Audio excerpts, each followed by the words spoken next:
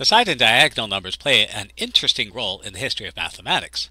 Theon of Smyrna, in the first century, described the side and diagonal numbers as follows. The first side and diagonal are 1. Then we can generate additional side and diagonal numbers by adding the side and diagonal to get a new side. Then adding twice the original side and the original diagonal to get a new diagonal. And then repeat indefinitely. So if we take our first side and diagonal as 1, we'll get a new side by adding the side and diagonal, a new diagonal by adding twice the original side plus the original diagonal. And this gives us a new side and diagonal number, so we can find the next side by adding side and diagonal, and the next diagonal twice the side plus the diagonal. And again, we have a new side and diagonal, so we can find the next side and diagonal numbers.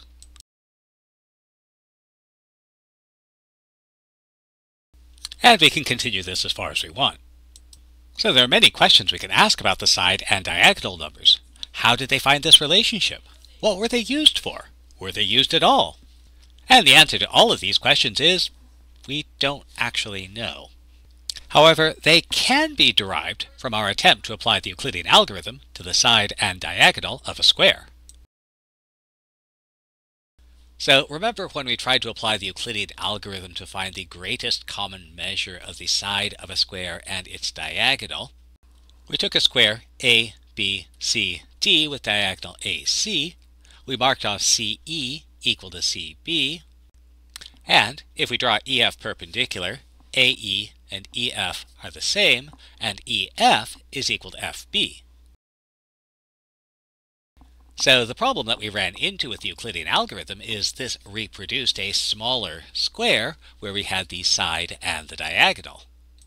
But in mathematics, failing to solve one problem often gives us insight into another. So if we take the side of our square AB, it's going to be the diagonal of the smaller square plus FB, but FB is equal to EF, which is the side of the smaller square. And similarly, that diagonal, AC, well, that's AE plus EC. And remember, EC and BC are the same. And BC and AB are equal, so BC is really AF plus FB. But wait, there's more. Remember AE, EF, and FB are all equal. So AE plus FB, well that's really 2EF. And AF is our diagonal. And so our new diagonal is two sides plus the old diagonal. And this is the side and diagonal relationship described by Theon. So what can we use these numbers for? Since the ratio of the diagonal to the side of a square is square root of 2, the side and diagonal numbers provide an approximation for the square root of 2. So if we pull in our side and diagonal numbers, the second side and diagonal numbers, 3 and 2, gives us an approximation to the square root of 2, 3 halves, or about 1.5. The next pair of side and diagonal numbers, 7 and 5, give us the approximation 7 fifths, 1.4. The next pair, 17 and 12, give us the approximation 17 twelfths, and we can continue to produce these side and diagonal numbers as far as we want, getting better approximations to square root of 2.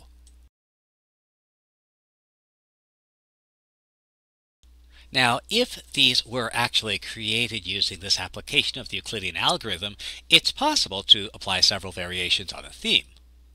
So one possibility, suppose we have a rectangle whose height is twice the width.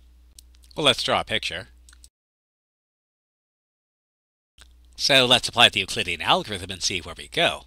Now in the square the two sides were equal, so it didn't matter which one we chose. Since the rectangle has one side twice as long as the other, it'll be convenient to work with the shorter side. To do that, we'll need to subtract our base twice. So subtracting the width twice from the diagonal leaves AF, And as before, if we make FG perpendicular to AC, then FG and GB are equal. And we have another rectangle that's similar to the original, and so FG is 2AF.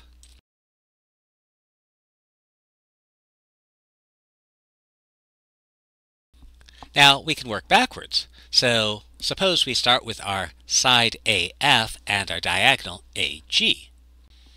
So our new side, AB, well, that's AG plus GB. But remember, GB and FG are the same.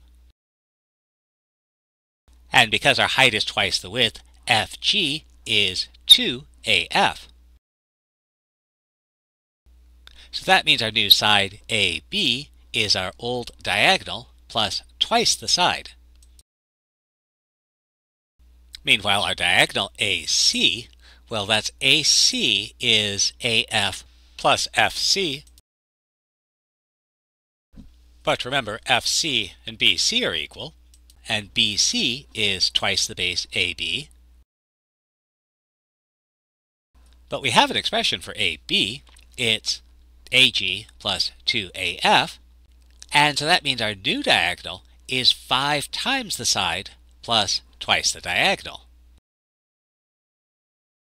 And so we might summarize, add the diagonal and twice the side to get the new side, add 5 times the side and twice the diagonal to get the new diagonal. And so again, we can start off with a side and diagonal of 1 and compute the new side and diagonal numbers. So our next side, we're going to add the diagonal and twice the side, which gives us 3. Our next diagonal, 5 times the side and twice the diagonal, 7. The next side is the diagonal plus twice the side, 7 plus 2 times 3.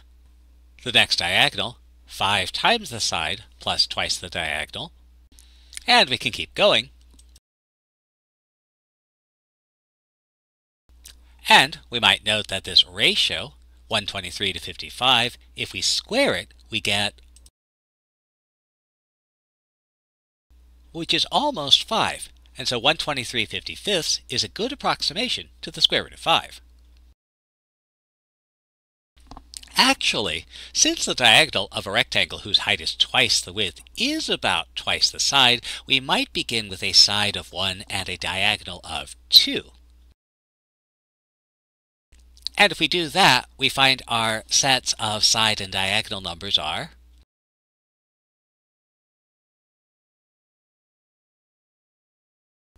And this last one, 161 70 seconds, we find that it's a even better approximation to the square root of 5.